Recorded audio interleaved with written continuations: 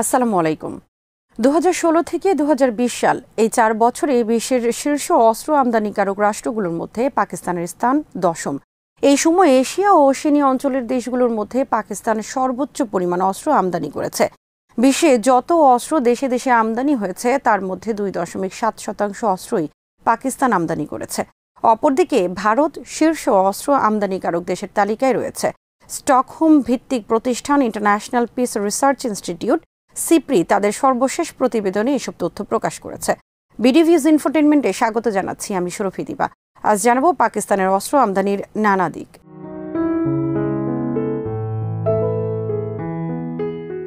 সিপ্রির প্রতিবেদন অনুযায়ী, বিশ্বের সবচেয়ে বেশি অস্ত্র যে দশটি দেশ আমদানি করেছে, তার মধ্যে আছে সৌদি আরব, ভারত, মিশর, অস্ট্রেলিয়া, চীন, আলজেরিয়া, দক্ষিণ কোরিয়া, কাতার, সংযুক্ত আরব আমিরাত ও পাকিস্তান।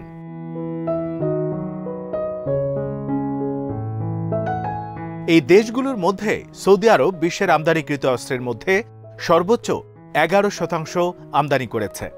ভারত করেছে নয় দশমিক পাঁচ শতাংশ, মিশর পাঁচ দশমিক আট শতাংশ এবং চীন চার দশমিক সাত শতাংশ।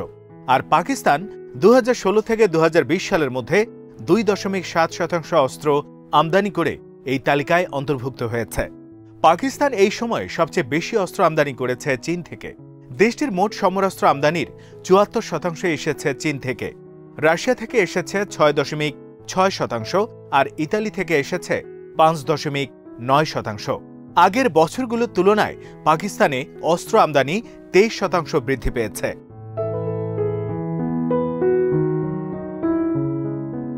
অপরদিকে ভারত সবচেয়ে বেশি অস্ত্র আমদানি করেছে রাশিয়া থেকে, প্রায় উনপঞ্চাশ শতাংশ। ফ্রান্স থেকে আমদানি হয়েছে আঠারো শতাংশ আর ইসরায়েল থেকে ১৩ শতাংশ। ভারত দু হাজার ষোলো সালের আগের পাঁচ বছরে যে পরিমাণ অস্ত্র আমদানি করেছিল, সে তুলনায় বিগত চার বছরে অস্ত্র আমদানির পরিমাণ প্রায় তেত্রিশ শতাংশ কমেছে।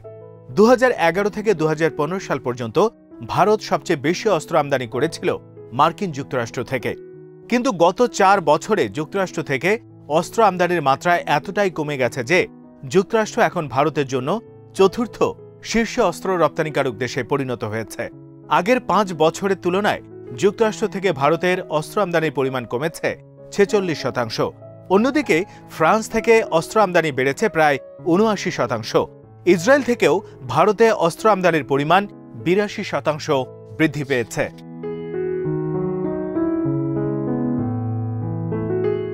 সিপ্রির প্রতিবেদনে বলা হয়, বিগত চার বছরে ভারতের অস্ত্র আমদানি কমে যাওয়ার বেশ কিছু কারণ রয়েছে। এর মধ্যে রয়েছে ভারতের ক্রয় সংক্রান্ত প্রক্রিয়ার ধীর গতি, রাশিয়া থেকে অস্ত্র আমদানির উপর নির্ভরশীলতা কমানো এবং নিজেদের দেশের মাটিতে সর্বাধুনিক সব, সমরাস্ত্র নির্মাণের উদ্যোগ। তবে ভারতের নিজস্ব প্রযুক্তিতে অস্ত্র নির্মাণের গতিও বেশ ধীর। নানা অজুহাতে এসব প্রকল্প বাস্তবায়ন বিলম্বিত হচ্ছে। অতি সম্প্রতি ভারতের নীতি নির্ধারকেরা আবারও বড় এবং দূরপাল্লার অস্ত্র আমদানির সিদ্ধান্ত নিয়েছে। ধারণা করা হচ্ছে যে আগামী পাঁচ বছরে ভারতের অস্ত্র আমদানির পরিমাণ আরও বেড়ে যাবে।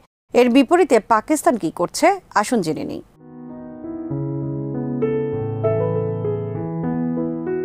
পাকিস্তানের হাতে আসার অপেক্ষায় আছে বেশ কয়েকটি বড় অস্ত্রের চালান।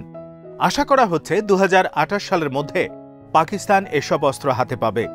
বড় এই চালানগুলোর মধ্যে রয়েছে চীন থেকে পঞ্চাশটি সশস্ত্র যুদ্ধবিমান আটটি সাবমেরিন এবং চারটি ফ্রিগেট, আর তুরস্ক থেকে আরও চারটি ফ্রিগেট।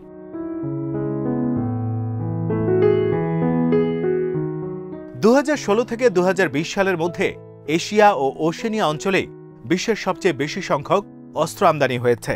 বিশ্বের মোট অস্ত্র আমদানির বিয়াল্লিশ শতাংশই এই অঞ্চলের দেশগুলো আমদানি করে। পাকিস্তান ছাড়াও ভারত, অস্ট্রেলিয়া, চীন এবং দক্ষিণ কোরিয়া এই অঞ্চলের সর্বাধিক অস্ত্র আমদানিকারক দেশ। এ অঞ্চলগুলোর অনেক দেশ চীনকে বড় হুমকি বিবেচনা করায় এত বিপুল সংখ্যক অস্ত্রের আমদানি করেছে বলে প্রতিবেদনে দাবি করা হয়।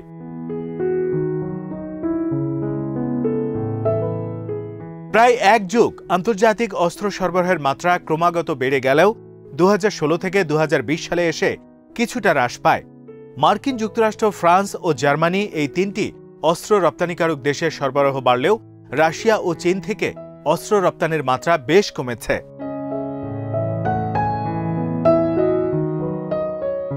চীন বিশ্বের পঞ্চম শীর্ষ অস্ত্র রপ্তানিকারক দেশে পরিণত হয়েছে। এরপরও দু হাজার এগারো থেকে দু সালের তুলনায় বিগত চার বছরে চীনের অস্ত্র রপ্তানি কমেছে সাত দশমিক আট শতাংশ। বিশ্বে এই চার বছরে যত অস্ত্র রপ্তানি হয়েছে, তার মধ্যে চীন মাত্র পাঁচ দশমিক দুই শতাংশ অস্ত্র রপ্তানি করতে পেরেছে। পাকিস্তান, বাংলাদেশ ও আলজেরিয়া এই সময় চীন থেকে সবচেয়ে বেশি পরিমাণে অস্ত্র সংগ্রহ করেছে। দু হাজার এক থেকে দু হাজার পাঁচ সালের পর এবারই প্রথম আন্তর্জাতিক বাজারে অস্ত্র সরবরাহের মাত্রা কমেছে। এর আগের প্রতি পাঁচ বছরের হিসেব থেকে দেখা যায়, পূর্ববর্তী পাঁচ বছরের তুলনায় অস্ত্র কেনাবেচার মাত্রা বেড়েছে। এবারই এর ব্যতিক্রম হল।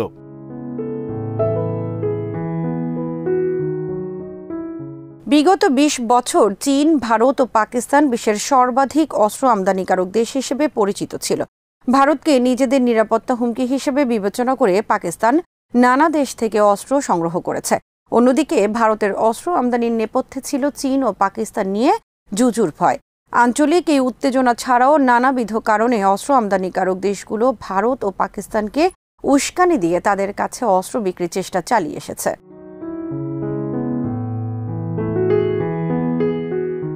চীনের অস্ত্র আমদানি বেশ কমেছে এবং আগামীতে আরও কমতে পারে। কেননা, চীন নিজেই এখন সর্বাধুনিক প্রযুক্তির সমরাস্ত্র নির্মাণ শুরু করেছে। তবে চীনকে আরও বেশ কিছুদিন ইঞ্জিন ও ট্রান্সপোর্ট এয়ারক্রাফটের জন্য আমদানির উপর নির্ভর করতে হবে। ভারতও নিজস্ব প্রযুক্তিতে অস্ত্র উৎপাদনের উপর জোর দিলেও সেগুলো মানসম্পন্ন না হওয়ায় দেশটির সেনাবাহিনী বা বিমান বাহিনী এখনও আমদানিকৃত অস্ত্রের উপরেই ভরসা রাখতে চাইছে।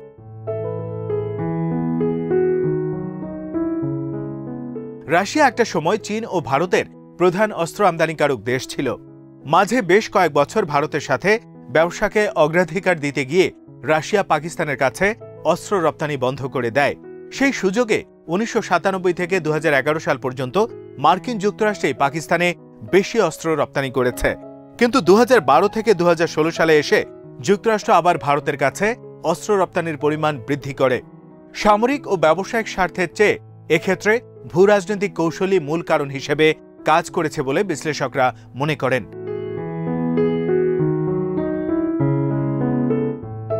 এরপরেই চীন পাকিস্তানের প্রধান রপ্তানিকারক দেশে পরিণত হয়। আবার সাম্প্রতিক বছরগুলোতে তুরস্ক পাকিস্তানের মিত্র দেশে পরিণত হয়েছে।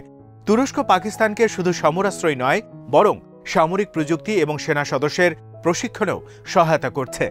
দুই দেশ নিয়মিতভাবে স্থল, নৌ ও বিমান পথে যৌথ মহড়াতেও অংশ নিচ্ছে।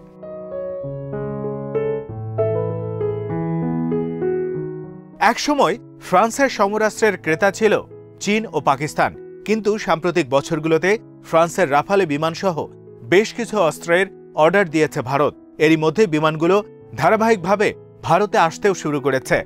ভারত হয়ে উঠেছে ফ্রান্সের সমরাস্ত্রের প্রধান ক্রেতা ভারতের প্রতিরক্ষা মন্ত্রী সহ ঊর্ধ্বতন কর্মকর্তারা নিয়মিতভাবেই ফ্রান্সে সফর করছেন। রাফালে বিমান পরিচালনার জন্য ফ্রান্সে নিয়ে গিয়ে ভারতের বৈমানিকদের প্রশিক্ষণ দেয়া হয়েছে। ভারত ফ্রান্সে যে পরিমাণ অর্ডার দিয়েছে, সবগুলো সরবরাহ করা হয়ে গেলে আগামী কয়েক বছরের মধ্যেই ফ্রান্সই ভারতের জন্য সবচেয়ে বড় আমদানিকারক দেশে পরিণত হবে বলে ধারণা করা হচ্ছে।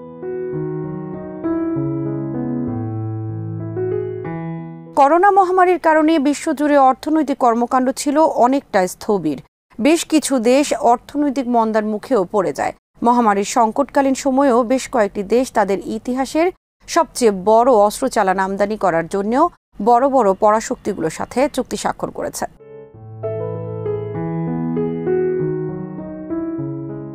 করোনার সময় সবচেয়ে বড় সমরাস্ত্র কেনার চুক্তি করে সংযুক্ত আরব আমিরাত।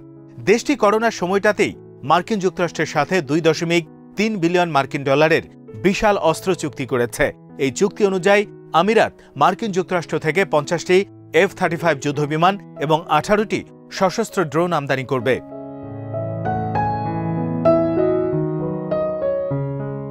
দু হাজার দশ থেকে দু হাজার পনেরো সালের তুলনায় দু হাজার ষোলো থেকে দু হাজার বিশ সালে মধ্যপ্রাচ্যের দেশগুলোর অস্ত্র আমদানি প্রায় পঁচিশ শতাংশ বৃদ্ধি পেয়েছে।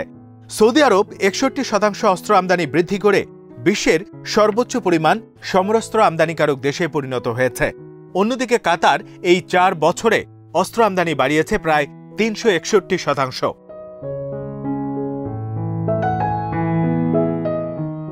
তুরস্কের অস্ত্র আমদানির পরিমাণ দু হাজার এগারো থেকে দু হাজার পনেরো সালের তুলনায় এবং দু হাজার ষোলো থেকে দু হাজার বিশ সালে প্রায় উনষাট শতাংশ কমেছে। এর একটি বড় কারণ হল পূর্বে স্বাক্ষরিত চুক্তি থেকে সরে এসে মার্কিন যুক্তরাষ্ট্র তুরস্কের কাছ থেকে এফ থার্টি ফাইভ বিমান দেওয়ার প্রক্রিয়া স্থগিত করে দেয়। এছাড়া নানা দেশের অসহযোগিতার কারণে তুরস্ক নিজেদের দেশীয় প্রযুক্তিতে অস্ত্রের উৎপাদনও বৃদ্ধি করেছে, ফলে দেশটির অন্য দেশ থেকে অস্ত্র আমদানির হার কমেছে। তবে উপমহাদেশের চির প্রতিদ্বন্দ্বী দুই দেশ, ভারত ও পাকিস্তানের অস্ত্র আমদানির প্রতিযোগিতা চলছেই।